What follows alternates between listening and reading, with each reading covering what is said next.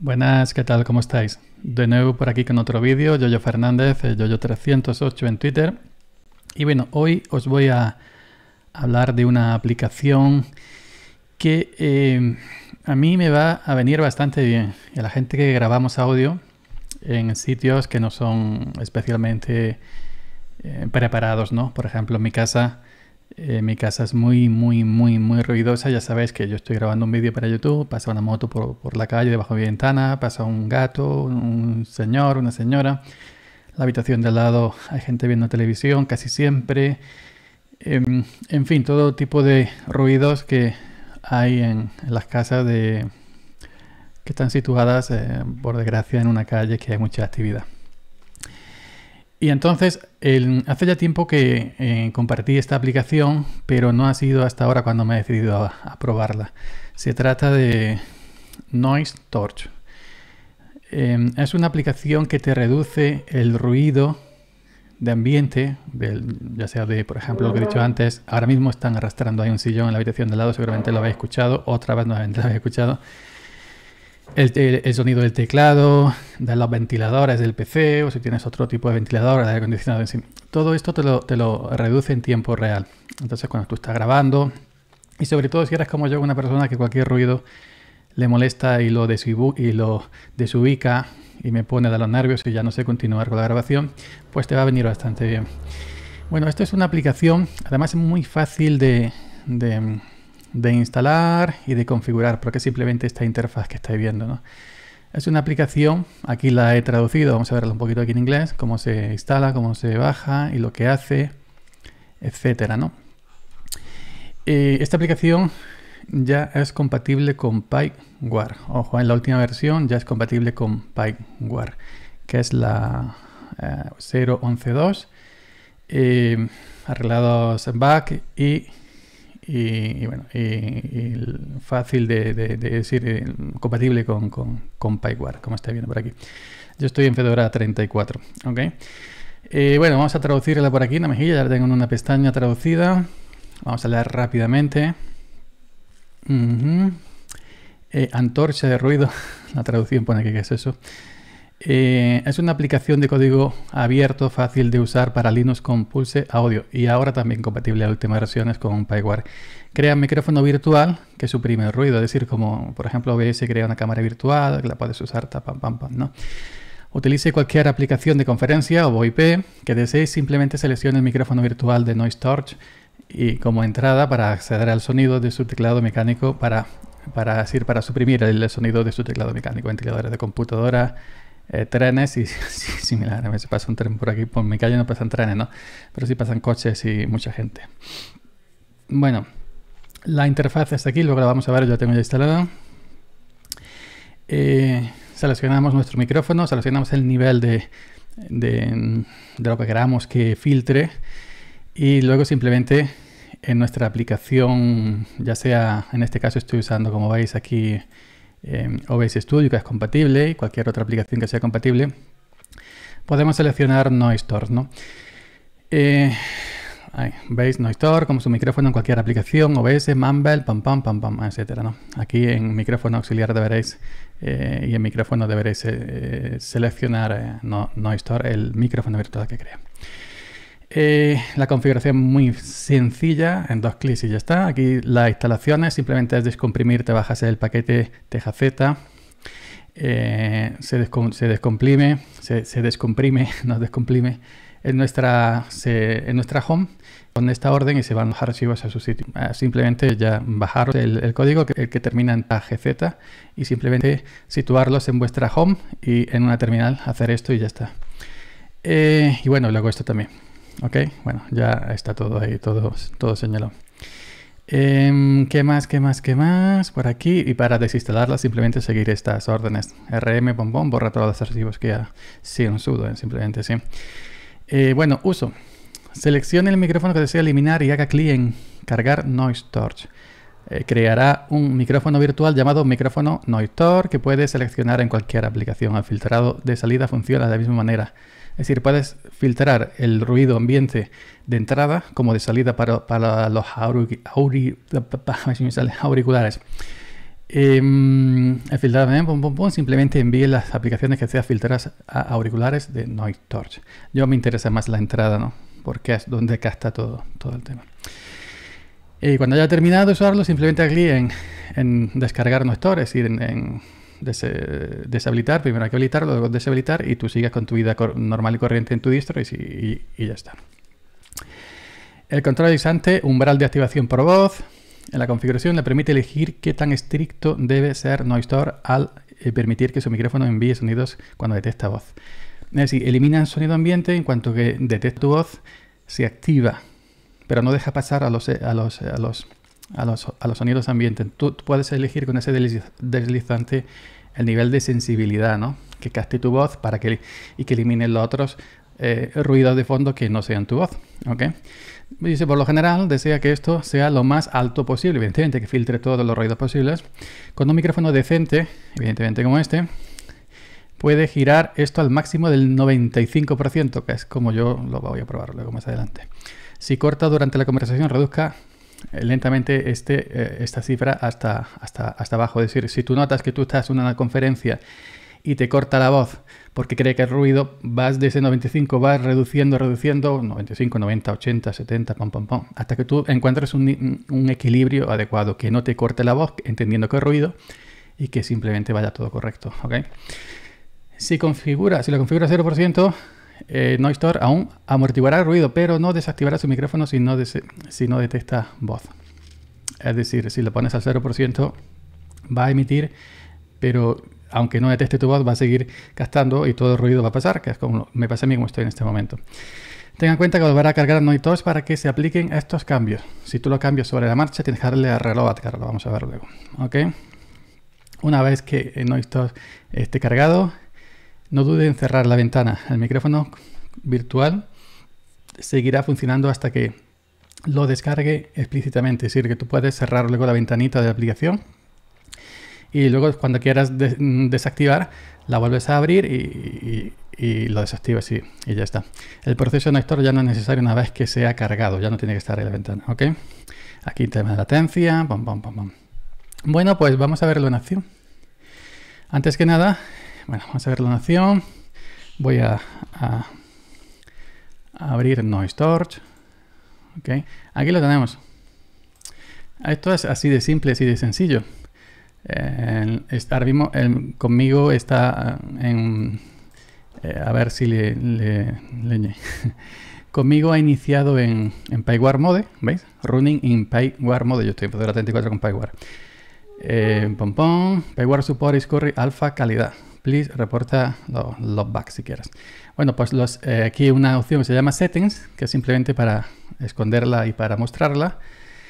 Y otra que es para mostrar las fuentes de monitoreo, es decir, ahora mismo se me mostraría entrada, pero una fuente de monitoreo, veis aquí, eh, audio interno estéreo tan tan, el de la webcam, la Logitech Strixcam y el de el de estéreo analógico de la, de la Logitech 2 y 2 segunda generación que es la que tengo yo. A mí solamente me interesa el micrófono, en este momento sí que simplemente le doy a quitar. Y, y luego aquí tenemos la opción, pues bueno, filtrar micrófono y seleccionamos el, nuestro micrófono. Aquí podemos esconder que no sale nada y si picamos pues em, vuelve a salir. También tenemos la opción de filtrar auriculares, headphones. No voy a filtrar en este momento, simplemente si filtro el micrófono ya no va a entrar. Ahí pasa una moto, la escucháis, ¿no? Pues eh, eh, si me filtra el micrófono, si tú tienes unos auriculares cerrados, pues no va, a, eh, no va a escuchar simplemente lo que te entra por el micrófono, ¿no? ¿Ok? Bueno, seleccionar el dispositivo de entrada. En mi caso, la Focusrite Scarlett 2 y 2.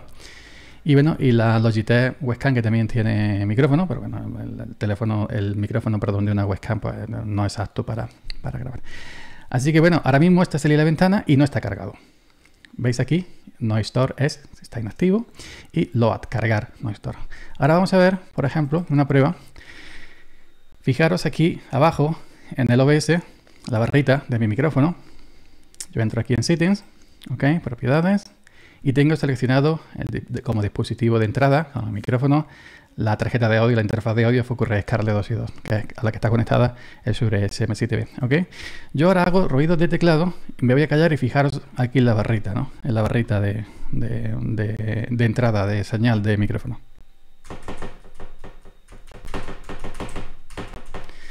Supongo yo que estaréis escuchando.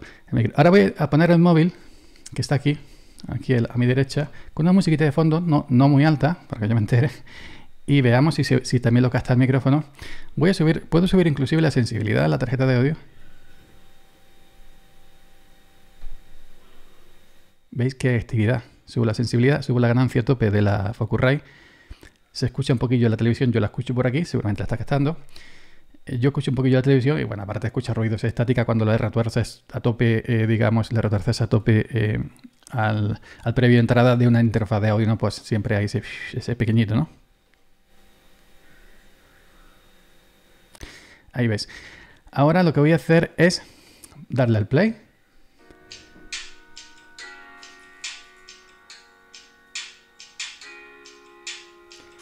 Estáis, ve la barrita cómo se mueve con música, que tengo puesto música de la librería libre de librería libre, valga redundancia de YouTube. Pues ahí escuchar la música, ¿no? Lo mismo para la música. Y yo con estos deditos le voy a golpear a la mesa de madera. escucháis, ¿no? ¿Eh? Escucháis, veis la barrita que se mueve y seguramente estaréis escuchando también eso, los golpecitos que lo recoge el micrófono. ¿Ok? Ahora vamos a ver, a aplicar el micrófono virtual de reducción de ruido de Noise Torch. A ver qué pasa. ¿Ok? Vamos. Primero, vamos a la ventana de Noise Torch o Torch, no sé cómo pronuncia, yo voy a decir Torch y ya está cada uno que lo diga como quiera. Y teniendo seleccionado mi Focusrite, que es donde está conectada el, el micro del Shure, le digo load noise tor, ¿ok? Le doy a cargar. Aquí arriba ya veis que pone que está activo. Y aquí ya, lo que decía antes, ¿no? Cuando ya, ya no lo estemos usando, podemos mm, pararlo, salir del proceso simplemente un load. Descargar Noitor. Y si tú cambias algún parámetro en marcha, como ahora veis que está a tope el 95%, puedes eh, em, tienes que recargarlo, ¿no? Road Noise Torn, ¿ok? Yo no voy a hacer cambios en este momento, así que no voy a recargarlo simplemente aquí. Bueno, vamos a ver nuevamente. ¿Veis? Estoy golpeando. Ahora tengo por aquí un teclado también. Estoy golpeando el teclado, recoge el sonido, ¿no? Pero, porque evidentemente todavía no lo he configurado en el OBS como micrófono de entrada. Así que bueno, voy a configurarlo en el OBS como micrófono de entrada. Propiedades, dispositivo, Focusrite, tal, pam, pam, y selecciono, que ya lo veréis, esta pues está cargado evidentemente, Noise Torch Microphone. ¿Ok? Noise Torch Microphone. Y le doy a aceptar. Ya tengo en este momento seleccionado Noise Torch Microphone, el micrófono virtual que te crea. Yo he notado que ya la televisión se me ha ido, se me ha ido. Ahora, voy a dar golpecitos en la mesa. Fijaros en el, en el de OBS. Y, y fijaros también, subid, subid los auriculares a ver si escucháis algo. Ahora, a ver si se baja.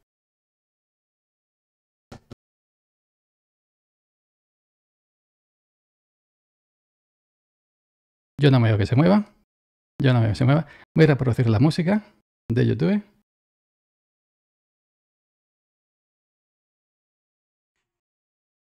La voy a acercar del todo para que veáis que es verdad que está reproduciendo, que no me lo invento.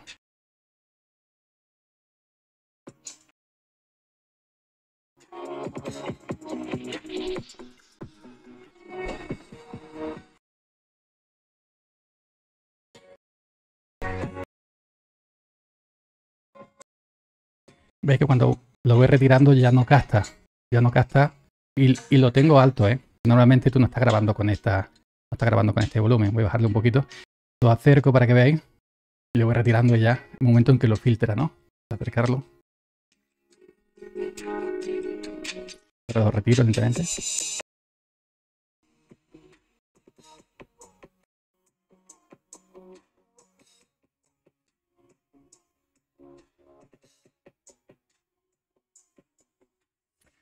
Ahí debería, parece que lo ha filtrado un poquito menos que lo, que lo de eso. Voy a golpear el teclado. Se tiene que fijar mi voz, evidentemente, y dejar los otros sonidos.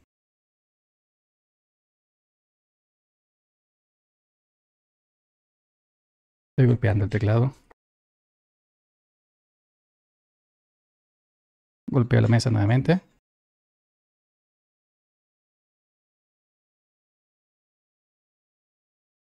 Y yo creo que la prueba, al menos yo por aquí no. Yo por aquí, evidentemente, estoy escuchando el porque estos no son cancelados de rollo, todo ese tema, pero el tema es lo que está recogiendo Noistor en OBS. Ahora me ha saltado una publicidad que yo te voy a separarlo. El tema es lo que está recogiendo OBS, no lo que yo escuché ambiente, sino lo que recoge OBS, que es lo que vais a escuchar vosotros, que es lo que se refleja en la grabación, ¿no? Lo que se refleja en la grabación. Y ahora mismo acaban de pasar unos cuantos coches. Evidentemente, yo no puedo sacar la webcam para enseñaros que es cierto que acaban de pasar unos cuantos coches. Yo lo he escuchado. Yo he escuchado los coches. Porque estaba bajo ventana. Pero el tema es que vosotros no escuchéis los coches. Que no se refleje en la grabación. Entonces, eh, para mí eso es importantísimo para no estar aquí grabando diciendo, vaya, va de la moto, vaya, va no sé qué, vaya, va no sé cuánto. Y en fin, eh, esto, bueno, pues yo lo muestro así de manera. Eh, no puedo poner aquí una cámara aquí eh, para pero en fin, que evidentemente em, debe fiar de mí porque es lo que estoy haciendo. Y ya estaría. Esto sería Noise Stores nuevamente. Y bueno, no sé. Es que, claro, es que, que, que, como lo demuestro yo ahora, no voy a sujetar el teclado aquí en esta mano y luego cambiar el micrófono. Por ejemplo a más una distancia que está el teclado de, de, la mesa, ¿no? Me voy a callar a ver si escucháis el teclado. Un coche. ¿Escucháis el coche? No.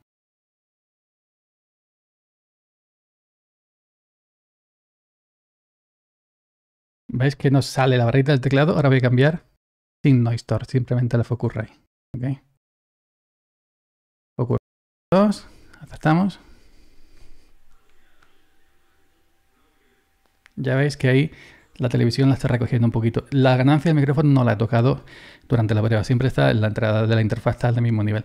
Ahora voy a tocar el, el de este, el, teclado nuevamente, igual que lo toqué antes con monitor activo.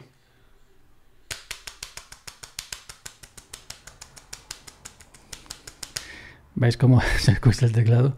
Y ahora lo cambio nuevamente a, a al tecladito, para la gente que tenga teclado mecánico, micrófono.